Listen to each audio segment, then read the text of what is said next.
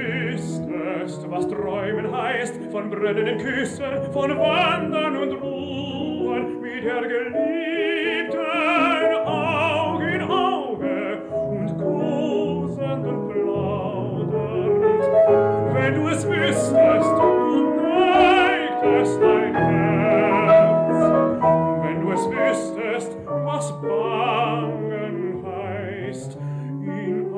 einsamen Nächten umschauer vom Sturm, da niemand tröstet milden Mundes die kampfmüde Seele.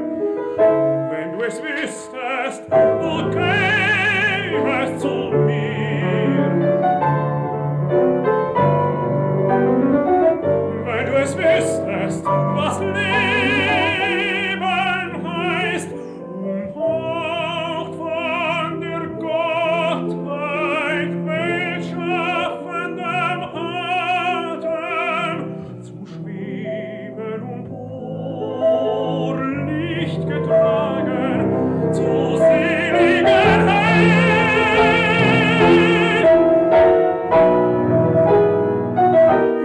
du es